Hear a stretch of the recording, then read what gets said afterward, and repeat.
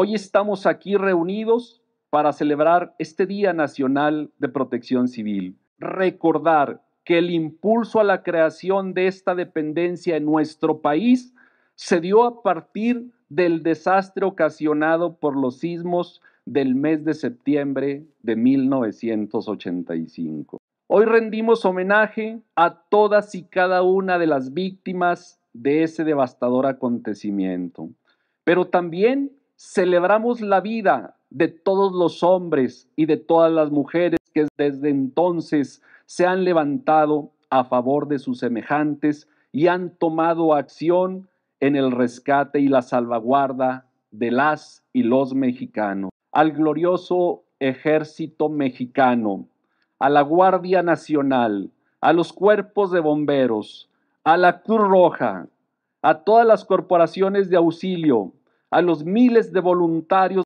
de la sociedad civil. Este esquema de acción es una política pública de primer orden en nuestro estado, impulsada por nuestro gobernador, el doctor Esteban Villegas Villarreal.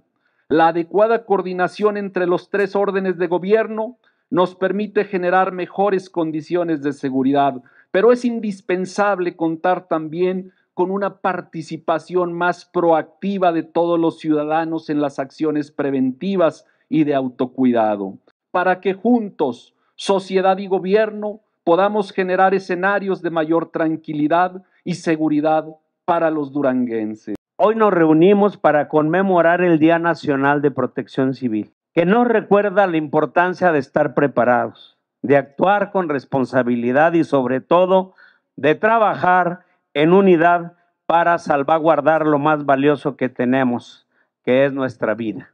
Sigamos construyendo un país más fuerte, un Durango más fuerte, más resiliente y más preparado, porque prevenir, prevenir es vivir.